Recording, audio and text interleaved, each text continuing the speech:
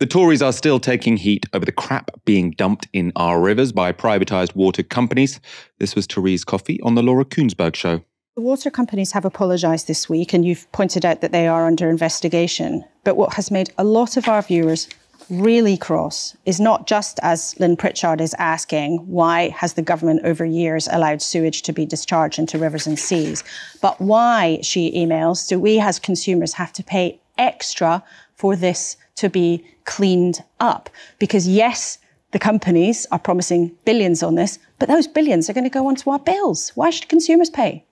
Well, one thing is very clear: consumers will not be paying for the penalties or fines that the Environment the Agency that the Environment Agency can levy, and indeed Ofwat as well. So there's an element there where that is already has to be taken account that the polluter pays principle. In regards to ongoing investment, there's been a record amount of investment that we've seen since privatisation. And as well as, I'm very conscious there have been dividends too. I think last year it was uh, uh, just under 4% mm hmm repaid. But, but my question what, is why should consumers have to pay? The water companies, I believe, had £2 billion in dividends recently to shareholders. So why should consumers have to pay to clean up their mess? Well, consumers aren't going to be paying for the for the illegal discharges, the fines and penalties that have already been levied. But there has to be ongoing investment in these uh, in these things. We've seen not far from here, we've got the Thames Super Sewer. Uh, it's a multi-billion pound project that's taking over 10 years to do. That will eradicate pretty much all of the uh, need to use storm overflows in the future. Uh, but I'm conscious, and that's why we've asked Ofwat or Ofwat to have taken advantage of the powers they asked for to link environmental and performance to the payment of dividends. I know mm. several of the water company chief executives are, are not taking bonuses, uh, but what I will say is that we continue to make sure this. We've got this plan. Water UK have talked about 10 billion pounds. That's about the figure we were expecting mm-hmm. them to invest by the end of this decade. Uh, and they need to get on with the job and tackle this, including the storm action overflow plans, which I'm expecting okay on my desk at the end of next month. Okay. So she's saying consumers won't have to pay the fines, so the fines that the, the companies get charged when they release shit into the rivers, um, but they will have to pay for the investment into improving the system. Now, why that irks people, and I think quite rightly, is because what's happened over previous decades is instead of properly investing in the system, profits, which comes from our water bills, have gone to dividends. So instead of us now saying, well, there's, there's a deficit of investment in this system, um, so we're now going to have to pay more in our water bills to fix it all. So well, what about all those dividends that got paid out over the past 20 years, right? That's that's the issue. Um, luckily, also on the Kuenssberg show, listening to Coffey was money saving expert Martin Lewis. This is how he responded. It was nice, at least after your questions on sewerage, to finally be able to say accurately that that was a politician definitely talking crap. So, um, and, and you know, you look at the water industry. What did we do with water? We privatized it but with no competition.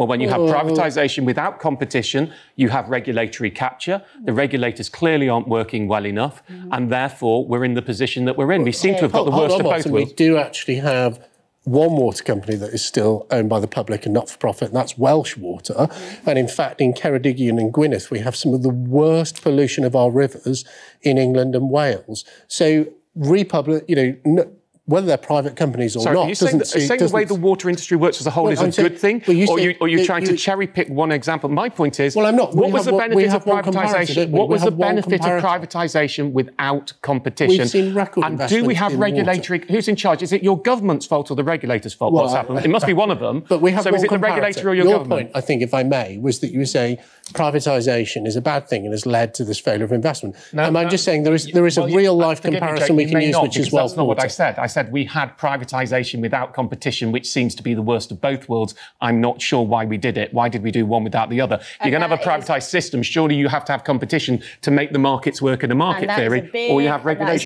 That was Martin Lewis arguing with Jake Berry, um, Conservative MP. There's a figure, Michael, I want our audience and our listeners and our viewers to bear in mind in regards to this story. Since 1991, there have been 57 billion pounds paid out as shareholder dividends to private water company shareholders. 57 billion pounds. Now, even Jake Berry there, let's take his argument to its logical conclusion. He's saying there is no fundamental difference in water quality between what's going on in Wales and privatized water companies elsewhere. Uh, let's not even talk about Scotland. He, he happily doesn't mention Scotland where there is public ownership of clean water. Let's park that. England and Wales, he talks about one authority in Wales It's publicly owned and uh, it's just as bad. Well, okay, let's say we had the exact same situation, Jake. Let's say they were all publicly owned and the water was just as dirty. We'd still be 57 billion pounds better off. You could have spent that on schools, high speed rail, trams, public housing. I don't know.